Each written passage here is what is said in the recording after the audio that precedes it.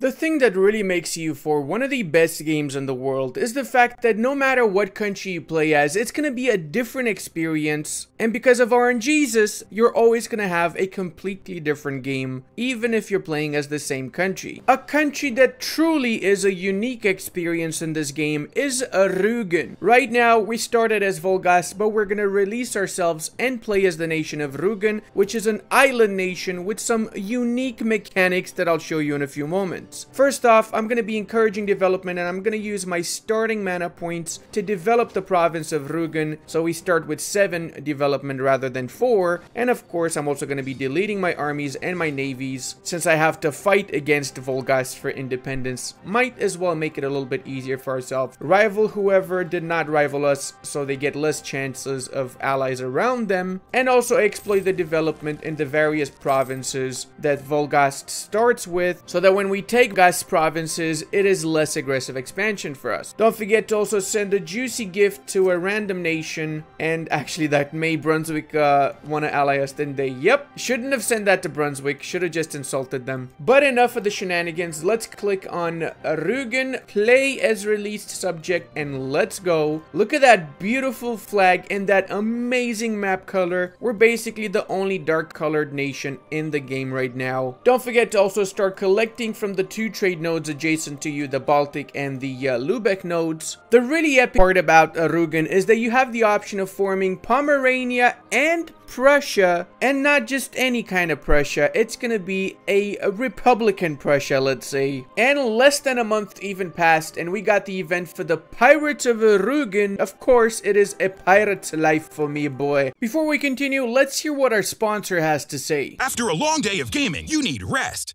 And now you can get it with X Sheets, the only LED powered bed sheets made for gamers. I'm just kidding. We all know EU4 players don't sleep, but we do enjoy a good raid, don't we? Which is why the real sponsor is Raid Shadow Legends. I've been playing Raid for a while now, and my favorite part is fighting in the PvP arena as well as spending time with my awesome clan members. There's a lot happening this month in Raid, new champions, updated tag arena, and special events and tournaments, but here's the main event. Raid's running a special Deliana chase event. If you log in for 7 days between now and July 20th, you get a brand new legendary High Elf champion, Deliana, for free. Deliana is one of the strongest support champions in the entire game and will help carry your team past Raid's tougher challenges. This is the time to get started in Raid. Use my link in the description or scan my QR code on the screen and you'll get a free starter pack worth $40 that includes 3 champions, Misericord, Tiger Soul Romero, plus 10 Magic Force Spirit Brews each. Also, for new players, enter promo code MyDeliana and you get 50 XP brews to instantly get your legendary hero Deliana to max level plus a ton of silver. Fastest ones to use my link below can also join my clan, so don't miss out. Let's go ahead and set our leader as the admiral of these three ships, and let's start raiding the coastlines, 54 ducats from the South Baltic Sea alone, and the most juicy of plunders is the one in the Kattegat Sea or whatever this is called. 95 ducats is insane. The great part about Rugen is that it's actually the only pirate one province minor HRE nation in the game. Now we have to plan for our independence war, so we're going to improve relations with Poland. A lot of the times Poland is willing to support our independence. 55, 56, after improving relations, they'll be more than happy to support us. We also need to wait until our truce is over with the uh, nation of Wolgast. And we're going to put these 300 ducats to good use. We're going to start getting advisors uh, right now. Even though it's a little bit early on, it is a-okay. We're doing it simply so we get as many mana points as possible, since mana is extremely important in this game. And because we do not have our estates as a pirate republic, we need to compensate at least with advisors. Time to also start getting a spy network in Wolgast. And just one month later, 55-54, Poland is already willing to support us. The best part out of all of them is that Rugen has its own mission tree. It is the default pirate mission tree, but it's just a little bit of added flavor that you wouldn't normally see From a country you probably didn't even know exists. For this run, we're also going to try and mainly take the islands since we have a pretty massive debuff plus 75% state governing cost. So that means we're going to have to be playing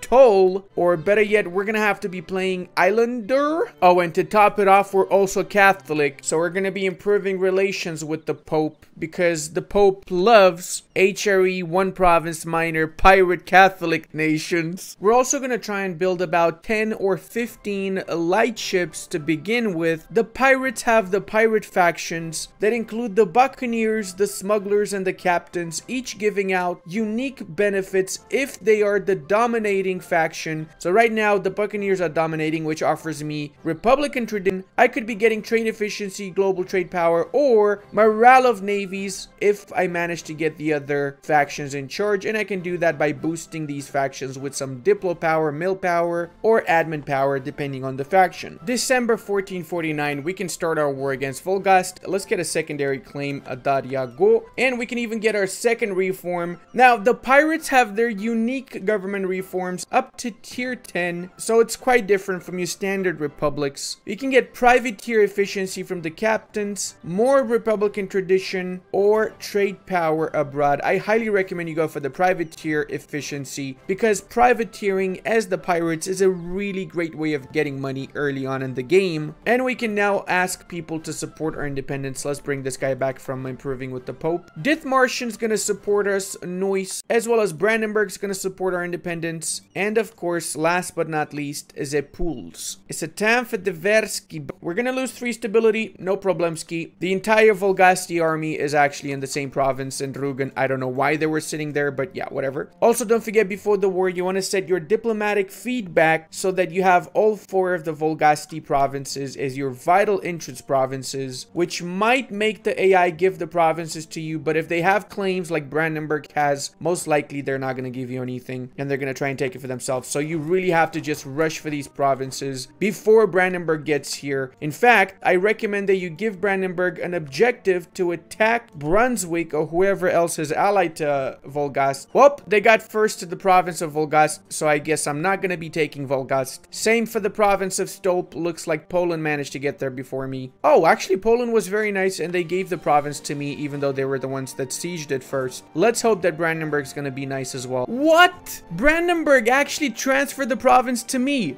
Dude, no way. I guess after all, Brandenburg is the good guy, guys. Time to also improve our stability. No more minus 3 stab, at least not yet. Just wait for RNGesus to give us like 5 minus 1 stability events in a row. Please don't, please, really, please don't, RNGesus, I love you. Saxe Lauenburg, I'm gonna cancel all of their rivals and I'm gonna go for war reparations. This is obviously so I get 17 prestige. And remember, the prestige, especially in the early game, in the HRE is super valuable. We're still an HRE prince, guys. Remember that. I don't know how this would technically be legal from a historical perspective. First off, we got to get our independence. So grant independence and then uh, fully annex Wolgast. Kind of ironic how uh, they're granting me independence and allowing me to fully annex them at the same time. Oh, look at that beautiful map Kula. Oh, I'm having an orgasm just looking at this. I feel like deep down inside, we played this game because we just like to stare map, don't we guys? I mean, at least I do. I'll be honest here. We're to be rivaling Stettin, obviously, Mecklenburg, and uh, Lübeck because Lübeck will likely be our city at some point. Not just yet. I will not be going too much into the HRE itself. I'm likely to be targeting Denmark first. I want to get their capital province, and I know I'm reaching here. I'm, I'm thinking about attacking a nation that's like five times my size. Ah, very nice, Austria. How about you go F yourself, bruh? Looks like Sweden is very disloyal, so I expect the Swedes to go into their independence war at some point, and I'm gonna take advantage of that and attack the Danes myself when that happens. They're actually only allied to Leinster, so it's not really that hard. I just need to get more ships than Denmark has. They got 24 right now. So, the Burgundian inheritance just triggered, and you'll never guess who actually got it. It's Oldenburg. Oldenburg got the Burgundian inheritance. This is gonna be a very interesting game. I can already smell it. Mmm, smells like a Burgundian egg. I'm sorry, what just happened? Holsten's an independent nation and allied to Denmark. What? And they don't have a truce with Denmark. I am so confused right now. And it's time to go raiding again, boyos. This time, we got more ships, so we're accessing a few extra provinces that we could not raid before. And we're making a ton of money, which is great because we've actually been getting a lot of loans, so we can pay off our loans now and also recruit more ships. Our naval force limit is 21. We want to at least get it up to 25 ships right now. Oh my god. They already killed Charles for real, man. Oh, that juicy Kattegatten money right there. I know it's not Kattegat, it's uh Straits of Orsund or something. Actually, what happened is all of the lowlands got their independence. So, more countries for the HRE, more countries that I'm going to get more aggressive expansion with if I was to expand the HRE, which is not going to happen, okay? We're peaceful in this run. Peaceful pirates. The ghost of the Volgastians is back here and they're fighting me off now. Please give me some good rolls, RNGesus. I love you very much. Yes, yes. Oh, I love those good rolls. What we're to do now is we're to again go to our diplomatic feedback and we're to assign the three provinces here in the Teutonic lands as our vital interest followed by the great attack on the Teutons. They have a lot of allies, but we're gonna call in the Poles, and with a little bit of RNG, we might actually win this. Fingers crossed, it's not gonna be an easy war, that's for sure. We're doing this because we need those exact three provinces in order to form Prussia. Time to kill our former ally here Brandenburgium.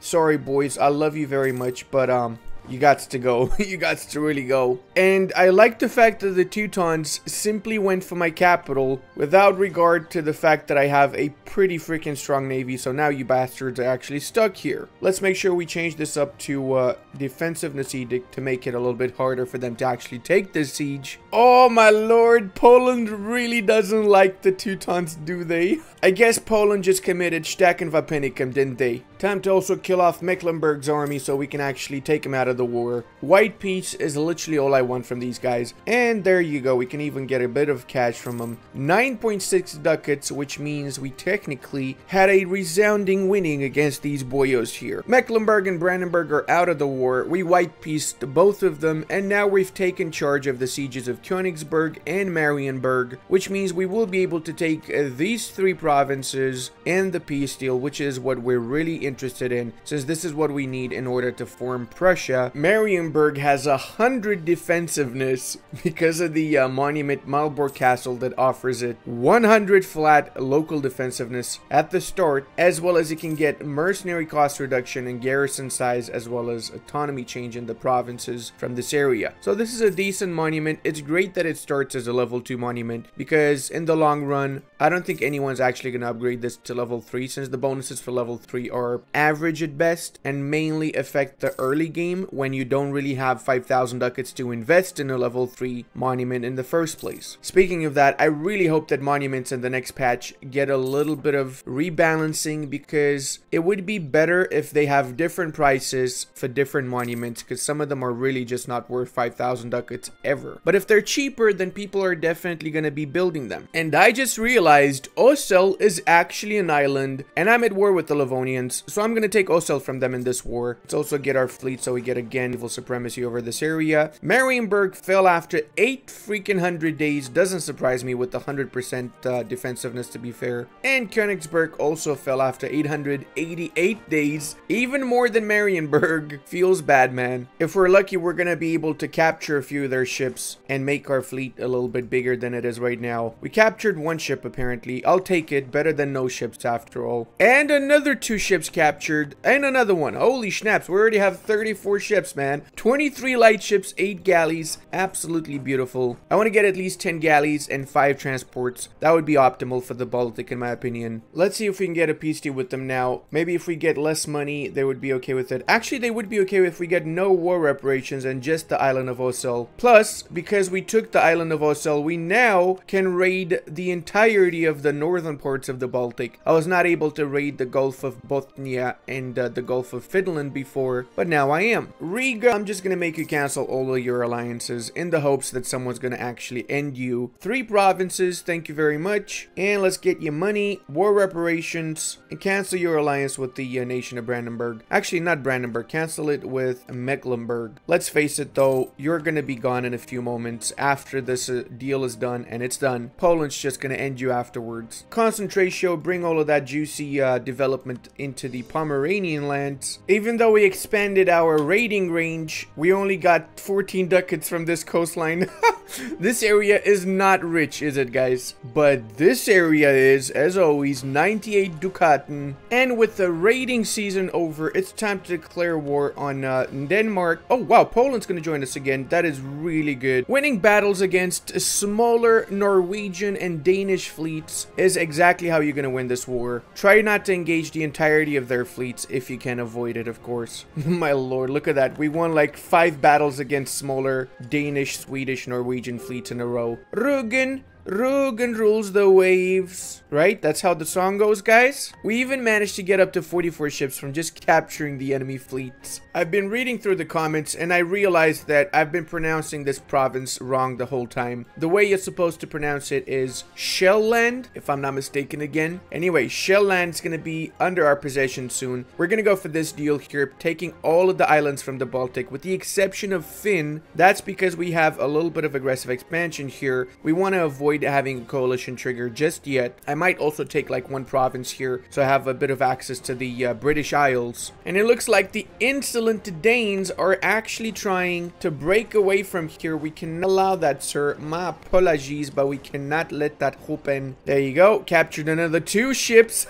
we have nine transports without having ever built a single one. So all of these are captured ones. I think we're going to need a little bit more war score, even though we took Shell Land. Might even go for the province of Lund afterwards. Gonna be barraging the province of uh, Gotland. We need to take this island, and it has a fort, so we need to take the fort before we can take this in the peace deal. And I believe this is the last of the Danish fleets. I really will try to kill all of their ships before we peace out. So afterwards, if they're weak enough, Sweden and Norway might even break away, which is good for me, because uh, you know that old saying, divide and conquer. And I think they agreed to my terms now. 97, 94. Can we get some ducats also? Nope, cannot even get a single bit of a ducat. And coalition is literally nations I already have a truce with, so nothing I need to worry about. Plus, we got Renaissance in uh, Shellland, so we can also embrace Renaissance, I believe, or we'll be embracing Renaissance. If I had checked this before and realized Fyn has Renaissance, I would have taken Fyn instead of Lollard. But mistakes are made. Mistakes have definitely been made. Concentration Zedenishland. Remember to also delete all of these forts on the islands. You don't need forts on islands, especially if you have a big enough fleet to defend your islands. That being said, you need to have some fortifications, otherwise your army tradition is going to keep going down. And the amount of fortifications depends on the size of your country, so keep that in mind.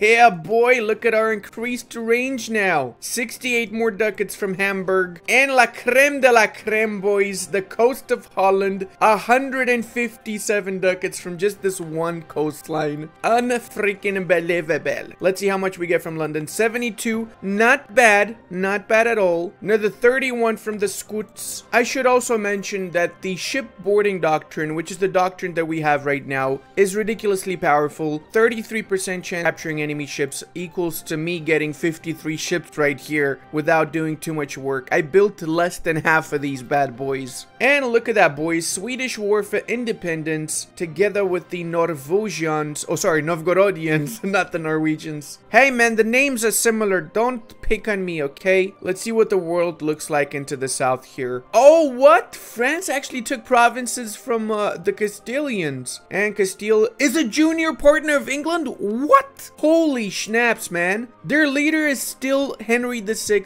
the Chad Lord 000. So how come they didn't have the English Civil War or what happened? Massively confused. Oh, right. Their Edward has a 5 pip. Woof, man. This kind of ruined the game for the English and the Castilians, didn't it? That means that Aragon's independent, and apparently they're allied to Naples. Naples, what are you doing? Aragon's your enemy here, sir. Mazab just chilling, not even in the province they start in. They migrated from Mazab to Bisca and still are alive. Granada also is alive. Doesn't surprise me when uh, Castile is actually in the PU under the English. Somehow Milan took Brescia, but not Bergamo. Makes sense, I guess. It's obviously because they have a core in both of these, so they can do that. But logic of AI is beyond me sometimes. And it looks like it's a cluster schnitzel of uh, wars in this area, with everybody attacking everybody. Typical day in the lands of the hordes, isn't it? Let's also start lowering our autonomy now, and after we core these up, we'll lower from that as well. Less autonomy equals more income. I think you guys know this by now, considering I mentioned this in all of my videos. Mecklenburg's pretty confident no one's gonna attack them. They're not even maintaining the fort in their capital, man. You know, it would be a big shame if somebody was to, uh, I don't know, say attack them yes, I am. I'm not interested in Mecklenburg lands, but I want East Frisian lands. This way, I can expand my raiding activities into the north part of uh, France and then work my way into the Mediterranean, where all the big juicy provinces are. Let's actually assault the fort in Mecklenburg. We really want to take this fast so we can start uh, piecing out the other smaller nations in this war. Oh, what? They're actually assaulting it as well? the AI is really a lot smarter in the latest patch, I'll be fair. Way smarter than it was before, and does a lot of things that you wouldn't expect the AI to do. And I just noticed what a schnaps happened to Brandenburg. When did this happen to Brandenburg, actually? I didn't even notice. Magdeburg took a massive chunk, Bohemia took a massive chunk, Stettin took parts of Brandenburg. Oh my lord, I feel bad for them. Although, that does mean Brandenburg's a juicy little two-province minor with a lot of cores around. Hmm, don't feel so bad for them anymore. I might even attack them now. The guy is really, really brave here. They're basically suiciding their stack in Rostock. They think they can win against me here? What? Maybe they're getting reinforcements? I don't know. Oh yeah, they're getting reinforcements. oh god, no! This is bad. This is really, really bad. oh boy, I feel like I got debated here a little bit. Yep, let's get out of there. And of course, the classic bait and stack wipe and Rugen tactic is what's gonna win us this war. Hey, where did Frisian boys go? Nobody knows. They just vanished into thin air. Come on, Mecklenburg. Do it, bro. Go to Rugen also. Both of you, go to Rugen right now. There's a lot of great stuff happening in Rugen. Ha ha! I caught you now, East Frisia. I tricked you. There's nothing great going on here. You're gonna die now. Avec le Rostokius Maximus. Let's go kill these boys off now. Oh no, Poland broke the alliance with us because they allied my rival Stettin. It's all good. I don't really care about Poland too much. It's not like they made this entire game, okay? I did it all by myself. And with a little bit of persuasion, and by persuasion I mean, you know, just completely raffle stomping them, we took over East Frisia, thus massively expanding our pirate activities, let's say. And Arrivederci Mecklenburg also got a little bit of PP from them because we also humiliated them. And hello French coastline, nice to meet you. How about you give me all your money now, huh? My next target will likely be Brittany. They're allied to the French and the Scots, so I'm gonna have to figure out a way of actually getting some provinces here, or even France itself. Doesn't seem like too much of a hard nation to attack. The really great part about Rugen is that it's a really, really different nation from most of your standard nations, because we're not really playing tall and we're not really playing wide. We can go for different ideas this time. And honestly, this is probably the only time I'm gonna say this, but espionage ideas is not so bad as Rugen if you be a role-playing pirate nation, because it offers extra privateer efficiency as well as aggressive expansion impact reduction since you're around the HRE, not too bad. As well as the ability to fabricate claims for subjects will help if you're going to be vassalizing and expanding into other areas so you can expand your pirate raiding ranges. Alternatively, you can go exploration ideas and you can start making your way to the New World or to Asia where there's a lot of great booty to be had. And plutocratic ideas also mixes in amazingly with with this nation since it offers a bit of military bonuses as well as some trade bonuses. Sadly, there's no achievement that I know of for this nation, but forming Pirate Prussia definitely is a unique experience in EU4. And let me know if you guys want me to do that. And check out this awesome Sweden video until the next time. And I really want to thank all my patrons, channel members, and Twitch subscribers for the amazing support you guys have been offering. I really wouldn't be able to maintain this channel without all of your help.